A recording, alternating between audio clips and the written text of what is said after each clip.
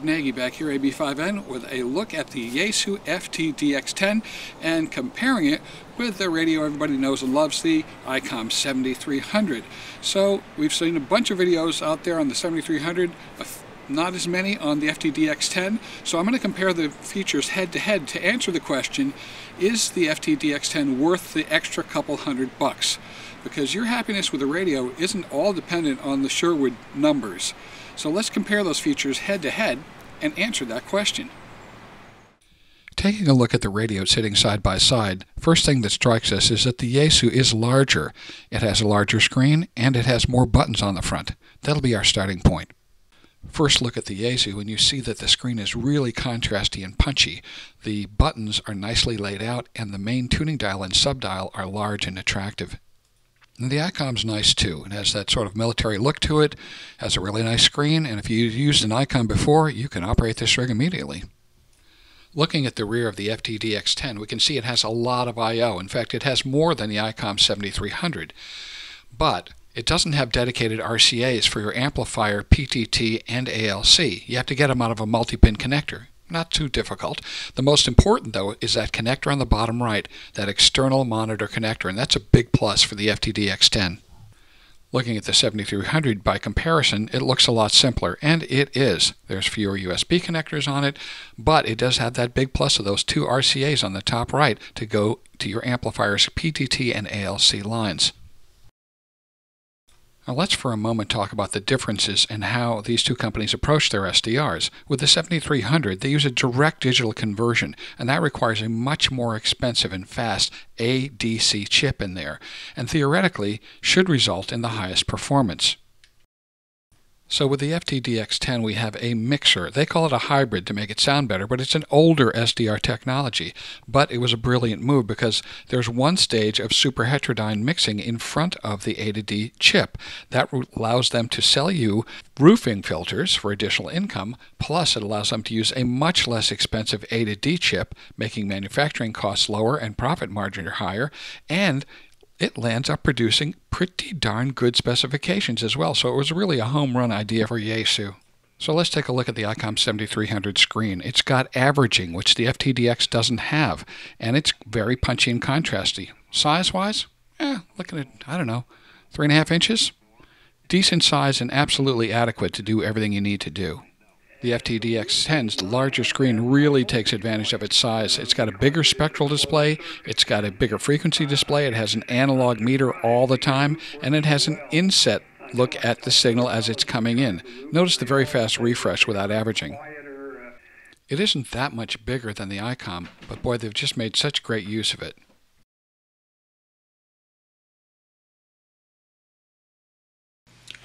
What all of the ICOMs have going for them is progressive tuning. And that means as you're tuning slow, you get this nice fine tuning. As soon as you start to pick up the speed on the dial, the, it, the gearing goes up and it goes much faster. So it's very easy to fly across the band. You get close to your signal, you slow down, and right away you're in that fine tuning mode.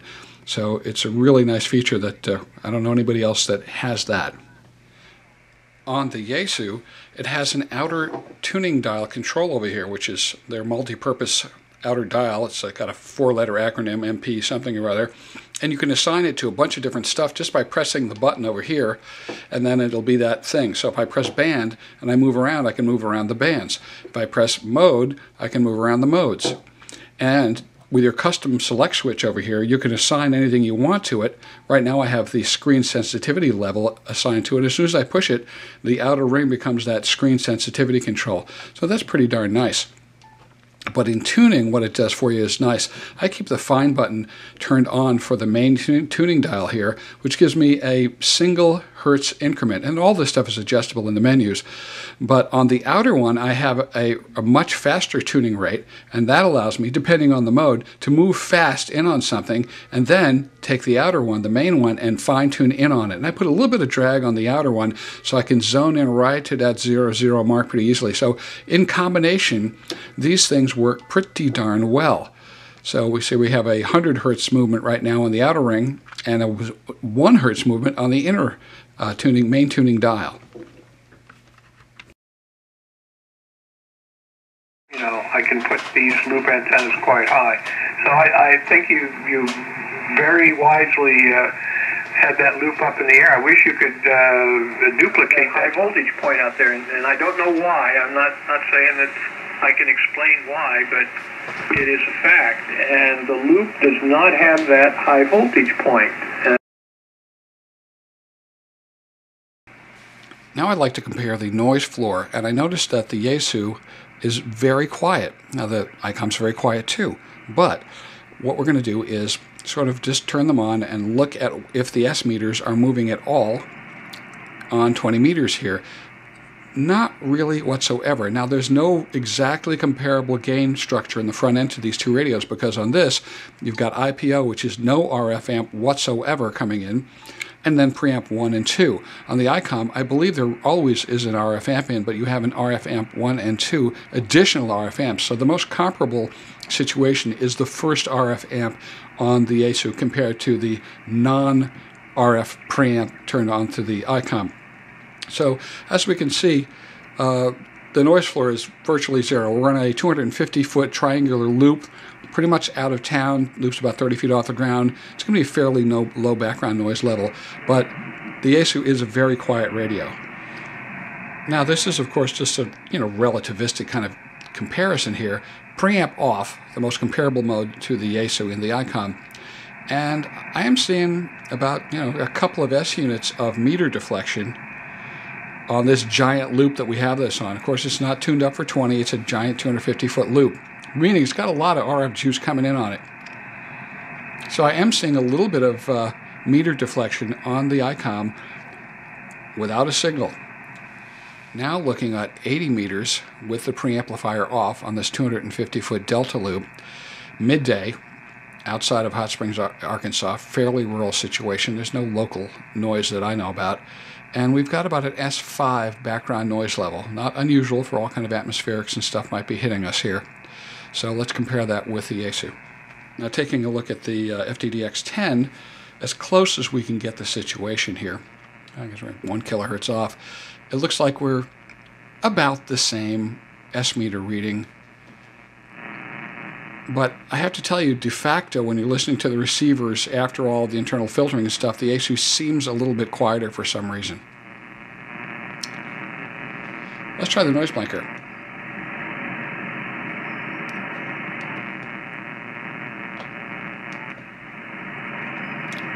Wow, completely takes it out. Very nice noise blanker action. Let's take a look at the noise blanker action on the uh, on the ICOM here.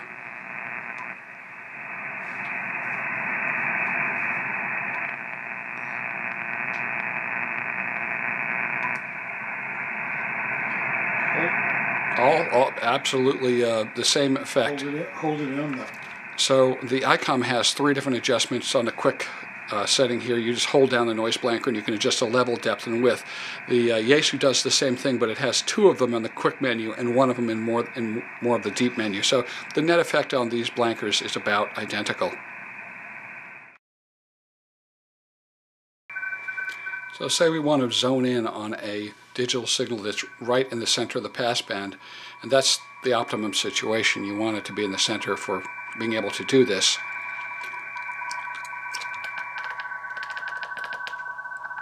Take one control, take it all the way to the left, one control, take it all the way to the right, and you knock out everybody but that one signal. There you go. So hit the control again, bam.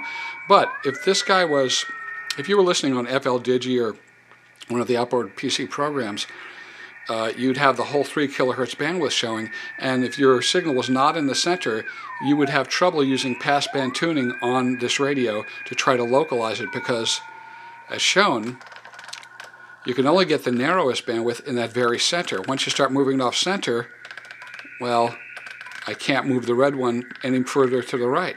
Uh, the signal is on the left side.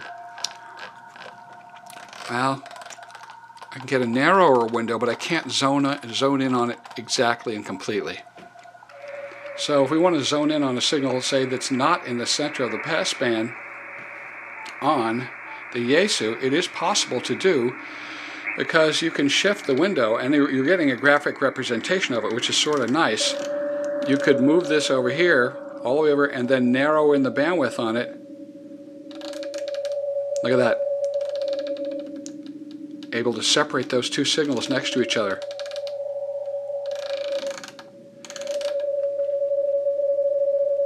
That's pretty slick.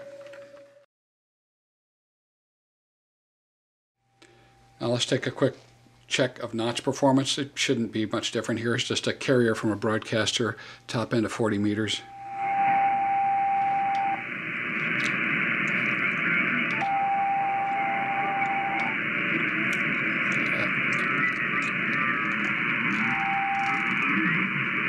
Manual control if you want manual control. Having that little graphic representation is sort of sort of keen. Here's the ICOM notch.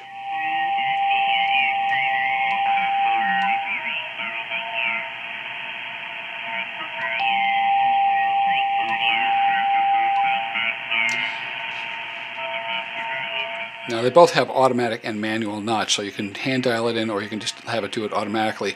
On both of them, the automatic notch will knock out multiple carriers at the same time. You also have the width of the notch adjustment on both radios. Shine a flashlight up there and they'd be Digital noise reduction on the Yaesu, 40 meters here. out over down at me and the mama behind them. So uh, that's pretty cute. Well, they always seem to go away after a while, but I haven't seen them the last couple of years, so uh, she might have got killed or something. I don't know. But anyway, uh, also see an armadillo once in a while. And that's about all that comes through my backyard. Uh, I saw a bobcat once in Colorado when I was riding a motorcycle up this road uh, that goes between uh, uh, between. So it's very strong, and it does give a little bit of a watery sound, but I, I do like the overall effect. Anything else uh, like that? Uh, uh, I've seen lots of deers, you know. It's off. across the road at night when I've been driving, and mostly up in New Mexico, Colorado. Not so much in Texas, around here, especially in the Dallas area. There's too much going on in the city to to get let deer uh, come up. But down south of here, uh, there's quite a few deer. So, but I don't go down there very often. And uh, So both of them have uh, pretty effective digital noise reduction. The Yaesu is stronger overall. Once you kick it up over five, it's really kicked in. Both of them at higher noise reduction levels have a watery effect. At a light effect on the D, on the 7300, there doesn't seem to be any watery effect, and it does reduce the background noise. On the Yaesu, even at a setting of one, you're going to start to incur a little bit of roll, phase roll, and, and, and such, but it does have a very profound uh, digital noise reduction effect. Both of these radios have the capability to do this display with adjustable times and such and sensitivity on these two displays over here. Right, this is this is set now too too high. There we go, and uh, they're pretty much comparable as far as that's concerned.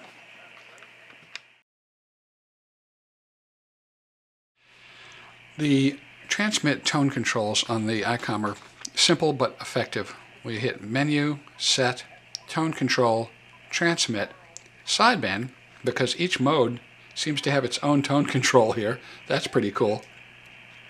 And then you have bass and treble.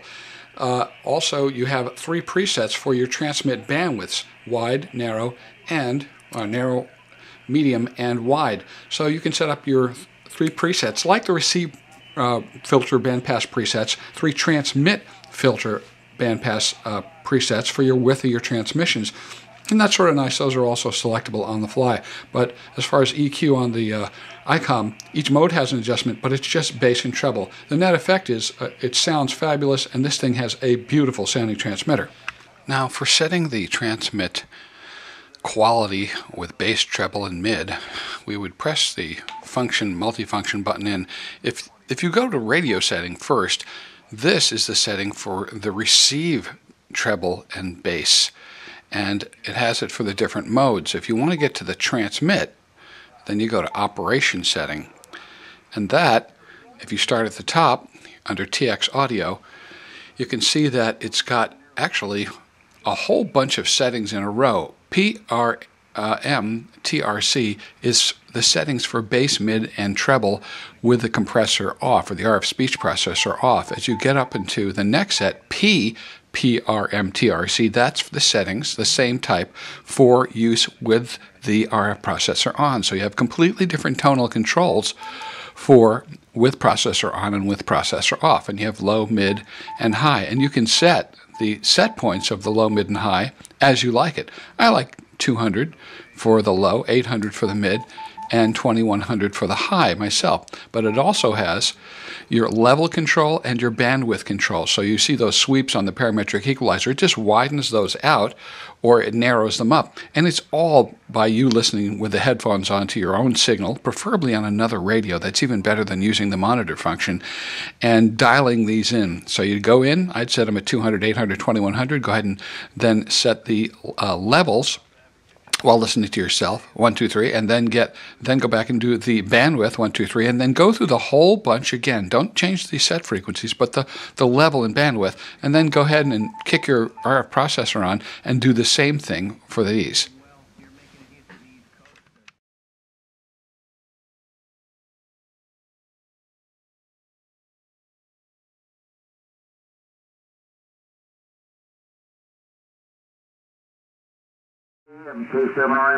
Now on the Yaesu, the bandwidth setting is always on the fly over here. So the outer ring on this control here is always going to allow you to narrow and widen, widen the passband.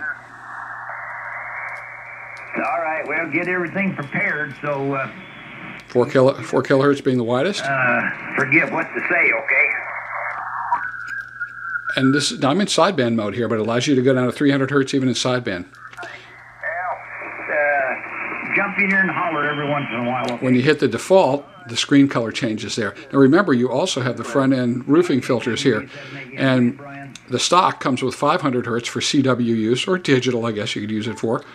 3 kilohertz for your general SSB use, and 12 kilohertz is the default setting for AM. It's not changeable, but when you're in sideband, you can you can change it in the other modes to uh, 12 kilohertz. If, I don't know why you'd want it, but you know maybe the guy's 4 kilohertz wide, and you got your bandwidth all the way out, then you'd want to use the 12 kilohertz filter. Normally, you leave it in the 3 kilohertz mode. But every time you're on any mode like this, your bandwidth selection is totally on the fly with this control here. It does remember as per mode where you were. Now, what's nice on the ICOM is that in AM mode, you have complete bandwidth control. And you have three uh, filter presets just like you have on sideband, which are separate from the sideband ones and independently settable.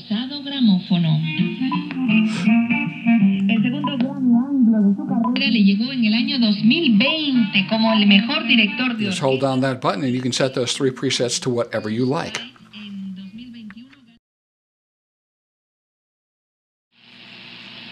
The menuing system on the 7300 is very refined, and it's a completely new system for the 7610 and 7300 and 9700, very similar menuing systems, but they're definitely completely revamped for uh, this age. So everything is really big and easy to understand. This is the only one that's got a ton of stuff in it, and there's a bunch of subsets in here which you can go through with your manual. But boy, you know, if you just think uh, where might that be, it's all spelled out quite simply over here. The menuing system on the 10 you get to by just pressing the function button in, and it's got all the commonly used stuff right here. As soon as you touch any of these buttons, this becomes your control for that, that value. Uh, when we get into a lot of the other stuff, then we're going to go down with these other submenus over here, and it's pretty darn logical to navigate. I haven't, I found it better than the FTDX 101D series.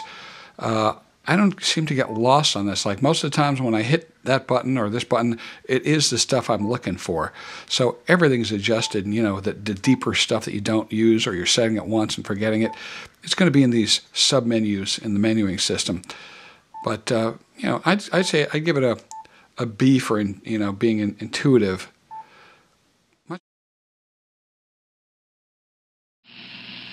Now, antenna tune-up procedure is really the same on, on these radios. Uh, no big surprise there.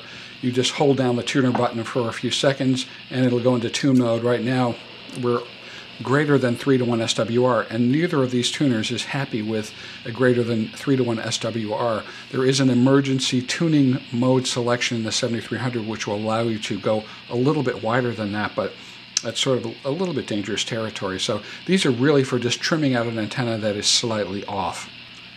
It's of course the same procedure when you are uh, doing the antenna tuner on the 7300 or the FTDX 10. Hold the button in and it has a ton of memories in there for the antenna tuner so it will uh, remember I don't remember every like 100 kilohertz or so it has a memory and it holds that tuning so next time you go there and you turn the tuner on automatically it's tuned. Um, it has complete control of the colors on the screen as far as the trace, the edge of the uh, the trace, and the peak hold. So if we hold down this button, it allows us to go in there and adjust any one of these colors to anything we want. Red, green, and blue, mix them together. I like a sort of spectrum analyzer look to it. And of course, it has the averaging, which the Yaesu doesn't have. So, um, and both of them have waterfall speed control. That's normal on both of them. But this averaging control is unique to the ICOM. I like it and became used to it. Now that I'm used to the FTDX10's fast display, I have no problem with that. Um, also, uh, this over here, narrow and fine, what's this, narrow and wide, same control on the Yaesu as far as the gradation, the, the, granularity of the display, whether it looks sort of just smoother or it's more defined with little lines. And I know you guys have seen this before, but the 3D display on this is, you know, I, I didn't like it to begin with. It's growing on me. I had a 101D for a while, but you normally would adjust your sensitivity on the scope so that static grass, as we call it, just goes away and then you'll just see the signals themselves as they recede into the past. And uh, of course, you can go ahead and change your color on that to something else if you like it. Uh, I don't know if this helps at all. Probably on this, I like this one. Uh, and of course, you can touch the display to go to the signal as well to center that signal. So uh, it's rather interesting. And, uh, you know, you're doing other things, you just want to watch the band. I, I'm, I'm, it's growing on me. Now, I couldn't find an ultra strong signal next to a weak one, but here's two signals right next to each other. And the guy on the right has no IMD products, so we're not, you know, not to worry about it. He's not splattering. Neither radio can handle that. The report and things coming back. Now I know the things weren't running and I don't have to. Uh, mm, and 7300 has no problem whatsoever there. Maybe in a heavy duty contest situation, you know, it's further down on the Sherwood list, but it's, uh, it's a respectable receiver. Well, uh, this is M9PE. 73, my friend. Okay, uh, very uh, pleased to meet you. I, I, think for the first time. I'm not sure if we've worked before. As you see, we got signals on both sides of us. They're not butt up against us, but they're darn close. I just kind of admiring your dog there on the QRZ page. That's uh, uh, that, looks like a Jim. And you don't hear anything, and you shouldn't. This thing is, is pretty much brick wall. And uh, when it really shows is when you're in CW and really get close. KE5FB in sunny and cool South Mississippi. Adios. Take care, Bill. Thank you.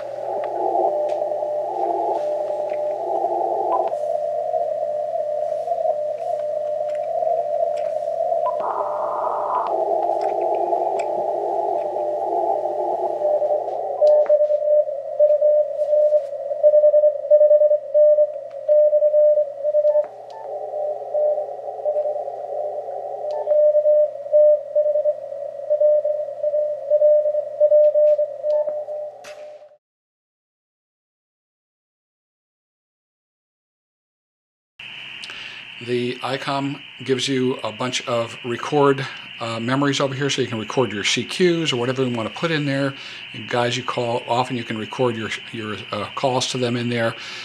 and uh, it's pretty much easy to operate. You can get an external uh, or make an external pad for this as well with switches that'll initiate these and automatically key the transmitter.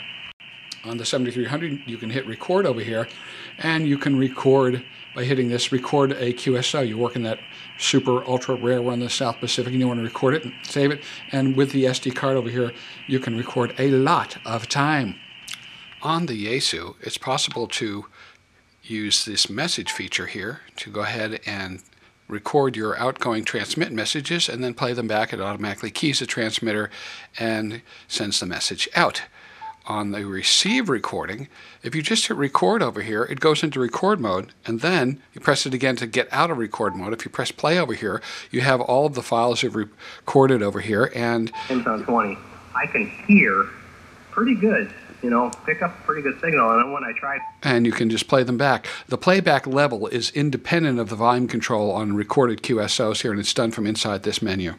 Something I like about the uh, ICOM that the Yaesu doesn't have is that the RF gain control can be set up as RF gain and squelch at the same time. So you can, uh, and you'll see it on the meter where it's going to attenuate. I'm getting a little bit of glare here on the plastic that's still on the screen, but as I raise that uh, RF gain control over halfway, it becomes a, a, squelch control.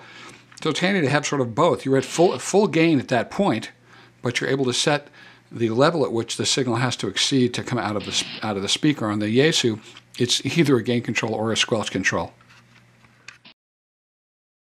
Something I've noticed on the FTDX 101 series and the FTDX 10 series is, you know, these are digital controls the RF gain control on both of these series of radios under strong signals can get a little crunchy as you're adjusting it in the three quarters to full region. I don't know if we'll hear it here. I'm uh, just uh, put in Jane Russell and you'll see why I mentioned it.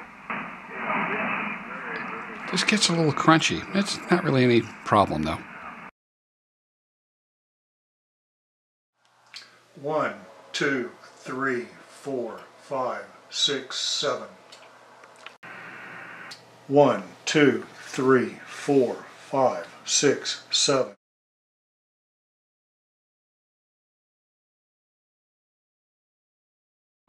Now, in the last revision of FTDX10 software, as of January 2022, they added a nice little thing called preset. I'm going to hit the mode button. You can't see me hitting it there. And on the bottom is an extra, well, mode.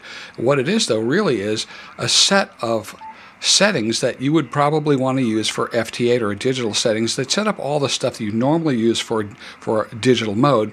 And when you want to kick those particular settings on, you can press the preset. Of course, I just turned it off. And look at that too. You can adjust the size of the uh, ratio between the waterfall and the spectral display by just touching the screen. The ICOM does not have that. I likey. And here's the FTDX10 decoding PSK 31 on 20 meters does a nice job once you get your decode level set right and your bandwidth. You center it right on the uh, display up here, and bada bing. Now, it does not allow you to type PSK31 from a keyboard. It does have canned memory, so you can do it with canned memory. So that's a little bit of a letdown, but that's pretty nice for uh, just sitting there decoding. Here's a guy uh, cooking along at about 22 words a minute and I have the decoder on. And what you have to do is you have to match the speed on the internal setting of the words per minute with the you know com- the signal that's coming in as best you can guess. And you'll see if you you know try a couple of different speeds, all of a sudden it'll start decoding very well. If a guy's using a bug or a hand key and his code is all out of balance, it's going to do about as good as your brain does. But if a guy's using an electronic keyer, nice paddles, which this guy is. It does pretty good. Sometimes it doesn't space the words quite right, but you can read them all.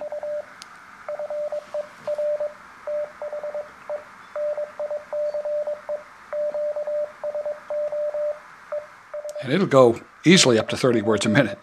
An interesting function that is expressly Yaesu is called contour, and basically what it does is it gives you the ability to put a little audio frequency bump right wherever you want it, sort of in the middle of the passband or down. You can adjust the frequency, the intensity, and the width of it. So you can see it on the display here. Uh-huh. You doubled. Uh, Vince was doubling with you. Anyway.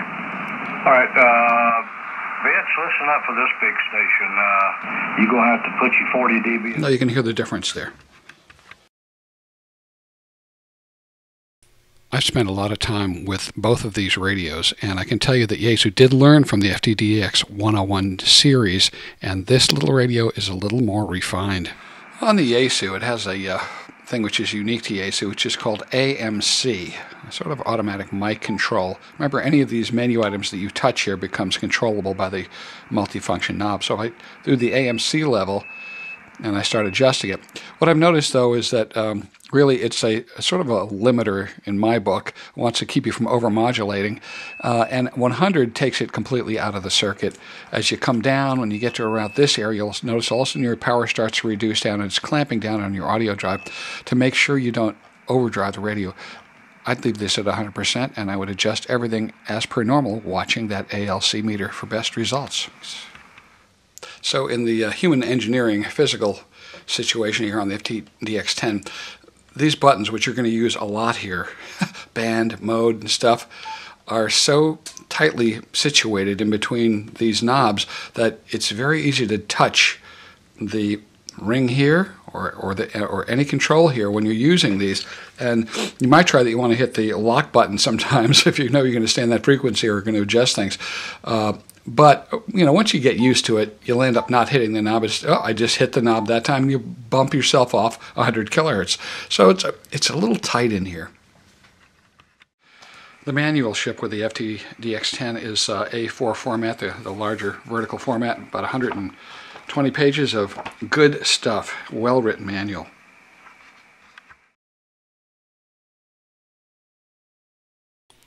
Now, I know it's ridiculous to do this, but I'm going to do a numerical score of both of these radios. 7300, well, it's got a better VFO tuning method. That progressive tuning, I really like it. Uh, the FTDX10 is not bad. I'm enjoying it too, but I'm giving them a point for that on 7300. The FTDX10 has more buttons. Boy, nobody likes menus. More buttons is good. A little hard to get to, so I'm only giving them a point. A better menuing system on the 7300. Boy, did they work that out. All new menuing system, giving them a point. Better selectivity on the FTDX10. That is huge. Those Sherwood reports, that's huge. It's brick wall. Giving them two points. Could give them three, but I'm being conservative. The 7300 does pass more bass and treble in the receive, and for older ears like mine and a lot of you guys, having that a little more high end in there helps with the articulation, and it's just a smoother sounding receiver. The FTDX10 has better transmit and receive equalizers. Going to give them a point on that. You get a lot of customization there. But the 7300 has a better overall sounding transmit signal. Uh, the 10 is fairly aggressive. It's really punchy. It gets through. It sounds good. But you know when you work somebody with a uh, 7300 because, man, it sounds fabulous. So I'm going to go ahead and give them two points on that. The FTDX10 does have a quieter, more sensitive receiver. We heard that especially with the CW there. It just feels quieter and it can reject noise in the neighborhood just a little bit better than the 7300. Um, the AM bandwidth control is gives you complete control on the 7300. I like that. It's not a biggie. I'm giving them a point for that. You got narrow and wide on the 10. It's very usable. But the FTDX10 has a better digital noise reduction system. It's very heavy-handed and aggressive, but I like what it sounds like. It's just better. A point for that. Hey, you have $7,300, $200 less on street price right now. That's significant. It's a great, great value but it seems like you do get some more for your money on the FTDX10. So they get a point for being a better value and lower cost. Hey, they've sold so many of them. The display on the FTDX10 is far better. They make better use of it. It's larger, it's punchier looking. Uh, it is just magnificent for the size, and I've really fallen for it. So they get three points, the only three pointer here. There are fewer engineering mistakes in the IC7300. Uh, these guys man, they're good at this stuff. And there's a few warts on that FTDX10 like you saw, but nothing that really impedes the enjoyment of the radio. PSK RTTY code, that's a two pointer. Not a lot of guys use this stuff. They don't let you use the keyboard in PSK, but on CW, that's nice. You can improve your speed by watching, you know, fast guys and looking at the decode. So I give them two points on that. External monitor connection, connection, that's huge. Uh, the display is gorgeous, but a lot of people like to put that big monitor on there. Got to get a two pointer on that. And it's got more I/O in the back, and it's got the contour control and a lot of little stuff. I'm going to give an extra point on that. So if we're looking at 9 to 14, that's almost a 50% better score on the FTDX10. Tip of the hat goes to the Yaesu. So I hope that answers the question for you. Personally, myself, is it worth the extra couple hundred bucks? Yes, it is. It's a slightly newer design. It gives you a lot of stuff that I find very useful, and I get a lot of pleasure operating the radio. So it's, you know, it's beyond that Sherwood spec. Are you going to be happy? Yeah, I'm happy, and I'm going to give it a two thumbs up as far as I like this radio. See you next time.